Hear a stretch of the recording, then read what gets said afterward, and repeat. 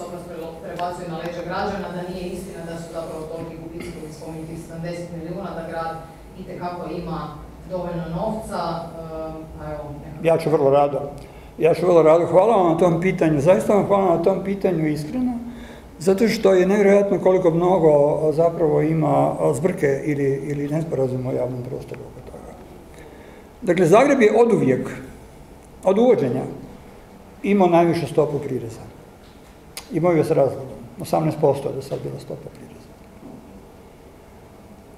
Novim poreznim promjenama koje su prošle prvo čitanje u Saboru, vlada predlaže ukinuti prirez. Ukinuti prirez.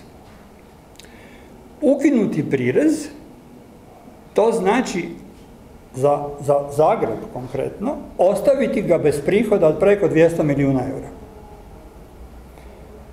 Osobno sam sudjelovao u tim izračunima. Preko 200 milijuna eura. Neke, neke procjene idu i do 220 milijuna eura. Ukinuti prirez znači da bi Zagreb ostao bez više od dva redovita mjesečna prihoda. Ja vas pitam koji proračun? Svejedno sad, obitelji ili općine ili malog grada ili velikog grada, koji proračun se može odreći dva redovita mjesečna prihoda? Dakle, apsolutno je nemoguće da Zagreb, da Zagreb odustane od kompenzacije tog prireza. Vlada je znala da će neki gradovi i općine trebati nadoknaditi taj izgubljeni prihod i vlada je dozvolila da gradovi i općine prirez vrate, doslovce vrate. I što mi u Zagrebu činimo? Mi doslovce prirez vraćamo na način kako je to vlada zamislila.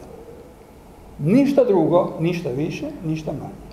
Nikakav novi porez se ne uvodi, a pogotovo se porez ne povećava. I tu međutim priči nije kraj. Pritom, kada dakle prirez vratimo, samo što će on sada biti integriran u poreznu stopu, mi ćemo još uvijek, govorim mi u smislu grada Zagreba, biti na gubitku od 75 milijuna eura. Zašto ćemo biti na gubitku od 75 milijuna eura? Zato jer će neki porezi, odnosno svi porezi, bolje da kažem, biti manji, jer se povećava osobni odbitak i porezna osnovica se smanjuje. Dobro? I nadalje, povećava se prag za primjenu one više porezne stope. I nadalje, vlada nije omogućila, ajmo reći, vraćanje prireza za neke poreze na dohodak. Indikativna vlada nije omogućila vraćanje prireza za porez na dohodak od kapitala i od imovine. Za porez na dohodak od bogatih ljudi. Taj prirez ne možemo nadomjestiti. Dakle, nadomjestivši prirez, vrativši, vrativši stopu poreza ili dignuši stopu poreza na takozvani maksimum, zašto nas prozivaju sada autori tog zakona, koji su dizajnirali taj maksimum.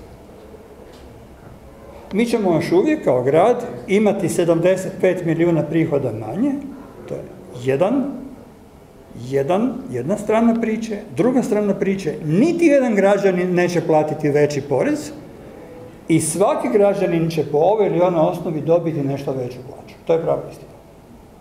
U tom pogledu, dakle, prozivanja premijera Plenkovića su apsolutno unfair i ne, ne